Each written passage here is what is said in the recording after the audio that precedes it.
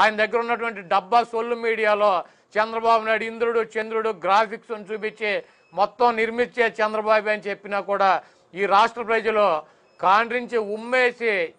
Telugu Desam party మీద ఇరవై మూడు సీట్లు పరిమితం చేసి నూట యాభై ఒక్క సీట్లతో జగన్మోహన్ రెడ్డి గారిని గెలిపించారు. తప్పకుండా జగన్మోహన్ రెడ్డి గారు రాజశేఖర రెడ్డి గారి ఆశయాలతో పాటు ఎన్టీ రామారావు చూపించినటువంటి పేద ప్రజలకు కానివ్వండి మధ్యతరగతి కుటుంబాలకు కానివ్వండి ఈ రాష్ట్రంలో ఆయన చూపించినటువంటి పరిపాలనను కూడా ఆదర్శంగా తీసుకుని ఈ రాష్ట్రంలో ఒకే ఒక వారసుడు. ఎన్టీఆర్ కావచ్చు వైఎస్ రాజశేఖర రెడ్డి గారు కావచ్చు డాక్టర్ బిఆర్ అంబేద్కర్ గారు కావచ్చు మహాత్మా పూలే కావచ్చు మహాత్మా గాంధీ కావచ్చు బాబు జగజ్జీవన్ రావు కావచ్చు వంగవేటి మోహన్ రంగా గారు కావచ్చు ఈ రాష్ట్రంలో ప్రజల కోసం పా- కష్టపడి ప్రజల కోసం పాటుపడినటువంటి ప్రతి నాయకుడిని కూడా ఆదర్శంగా తీసుకుని ఈ రాష్ట్రంలో జగన్మోహన్ రెడ్డి గారి పరిపాలన ప్రజల ముందుకు తీసుకువెళ్ళాలని చెప్పి మరి ఈరోజు జిల్లాలో పునర్వ్యవస్థీకరణ